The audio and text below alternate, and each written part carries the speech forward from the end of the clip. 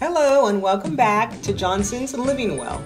My name is Carolyn, and I'm your host for this series. Thanks for joining us.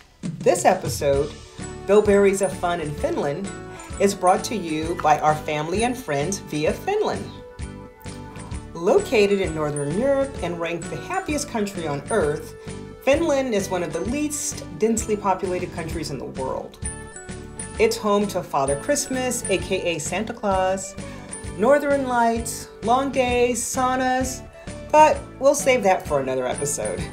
Today, let's take a trip to the Finnish forest and go bilberry picking.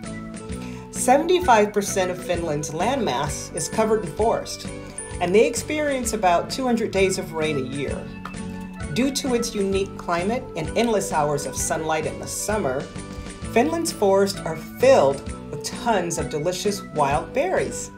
And anyone is permitted to go into any forest and pick as many berries as they like, though national parks are off limits. Each summer, Finns pick tons of berries, literally tons, and they freeze them to be used throughout the year. Most homes contain one or even two freezers the size of an American refrigerator. I'm telling you, the Finns are very serious about their berries, like 77 million pounds per year serious. there are blueberries, raspberries, strawberries, lingonberries, bilberries, to name a few. Bilberries are a favorite. Picking them is hard work and a bit messy, but apparently loads of fun. Bilberries are related to blueberries and are even referred to as European blueberries. However, they have distinct differences. Bilberries are smaller in size, cannot be cultivated, and only grow in the nutrient poor soil of northern environments. They are softer and juicier than blueberries and are actually purple on the inside as opposed to the whitish yellow inside of blueberries. And oh, bilberries have four times the antioxidants of blueberries. Talk about a superfood.